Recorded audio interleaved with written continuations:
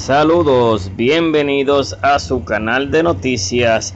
Suscríbete y activa la campanita de notificaciones y así se mantiene informado con las mejores noticias de República Dominicana y el mundo.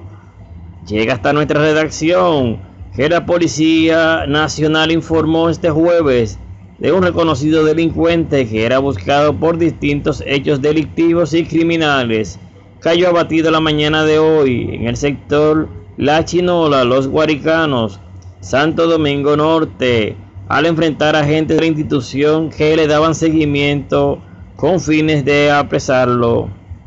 Se trata del reconocido delincuente apodado La Pempa, quien era buscado de manera activa mediante la orden de arresto.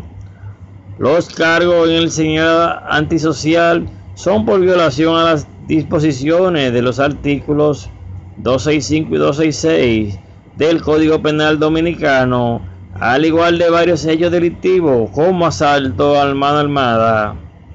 La PEMPA, conforme a los reportes preliminares, atacó a tiros a los agentes actuantes, quienes se vieron en la necesidad de repelar la agresión. La Policía Nacional dijo que amplía las investigaciones por lo que oportunamente ofrecerá mayores detalles.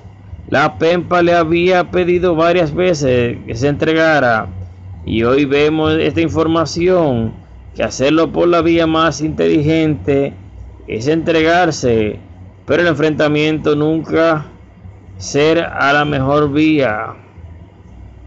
¿Qué opina usted sobre este caso?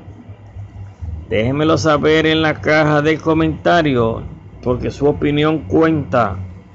No olvide suscribirse y activar la campanita de notificaciones y así se mantiene informado con las mejores noticias de RD y el mundo.